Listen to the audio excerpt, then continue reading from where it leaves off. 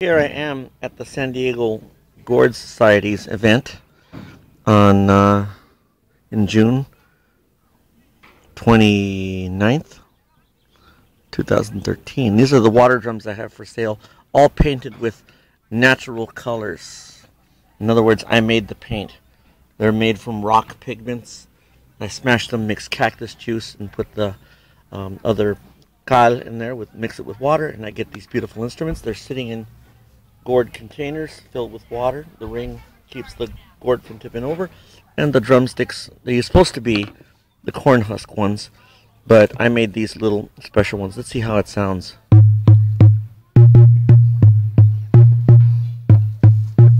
Yeah, and they're not Mayan, so don't let that other guy that bought them from me and puts um, Aztec designs and says that they're Mayan. Don't listen to that crap.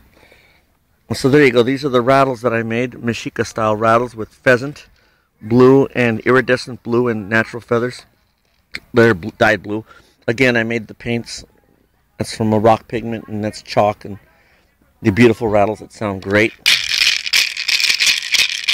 And I got little gourd rattles made from coyote gourd rattles. This is all gourd stuff.